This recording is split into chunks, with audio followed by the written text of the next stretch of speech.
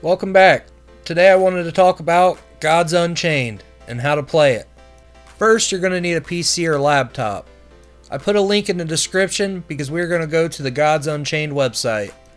It mostly talks about the hype with trading NFTs, and the former game director of Magic the Gathering is in charge of this game.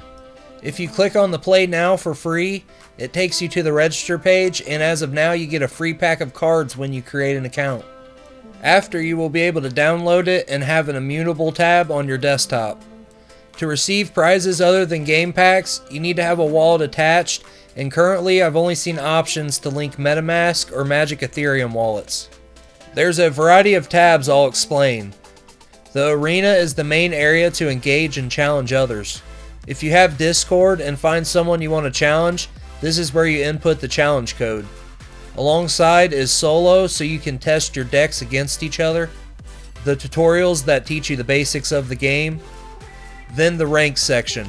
You can play as much as you want against other players here. If you get into forging NFTs, you will need Flux, which is earned through the Gauntlet of Gods. Every 24 hours, this resets. You will want to build 6 decks, one for each god.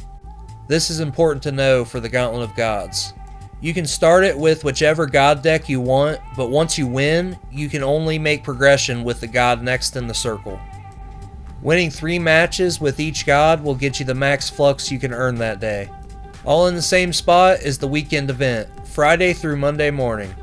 The first 25 matches enters you into a tournament and you could win extra packs. Elite prizes include core and expansion legendary packs. The market can take you to the Star Store to spend your stars on cards and NFTs, or the Immutable Store so you can sell or buy NFTs with Ethereum or Gods token. Collections just shows you all of your cards, the board setups, and the trinkets in your possession. The workshop is where you'll construct your decks. You will want one for each god to complete the daily gauntlet of gods. Once you receive doubles of a card, it will appear under Forge. Here you will need at least two cards, Flux and Gods tokens to mint an NFT. You can use it in your deck to show off or sell it in a Immutable Marketplace. Here you can open earned packs or tap on the link to buy packs directly from the website. If you haven't downloaded the game and just want to see how it's played, I'll show you. After selecting a deck and entering a ranked match, I am prompted to pick which god ability I want to use.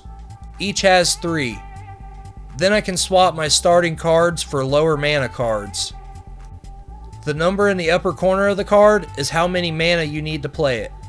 Every turn you get your mana back, plus one extra until you get to 5. After 5 mana slots, it takes more turns to get to 6 through 9. The idea is to find cards that work well with your god power, and balance the amount of higher and lower mana cards that are being drawn. I'll go into abilities and roars in another video, so like and subscribe so you don't miss it.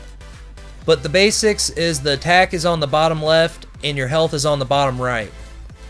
To successfully kill your opponent's card, you have to have enough attack to take out his health. And to win the match, you have to attack his god directly and bring it down to zero. I've had fun playing Gods Unchained, and I can't wait for it to come out on mobile. We finally have a game that lets you earn free rewards, but you can also buy and trade real NFTs to gain advantage over other players. Let me know in the comments what you want to see next about Gods Unchained. See you next time.